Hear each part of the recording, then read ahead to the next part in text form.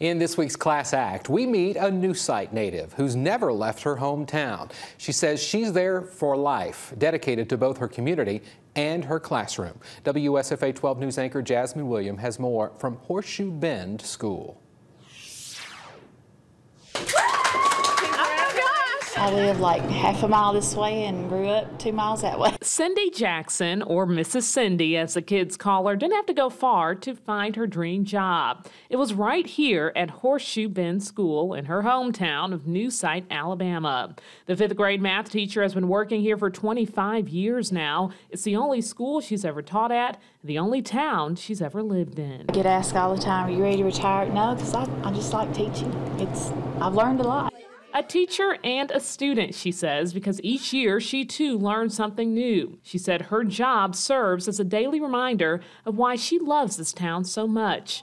A place that she admits has its own little quirks and can take some getting used to. Um, some people call it a culture shock when they come from a big city to here. Everybody's welcome. It's a great place to be. There's just no words. I wouldn't live anywhere else. Because it's not just about the location, it's the people who make up this town and the students who make up her classroom. Students who she says will always have a special place in her heart. All my kids. Uh, hard places in my life, easy places. Um,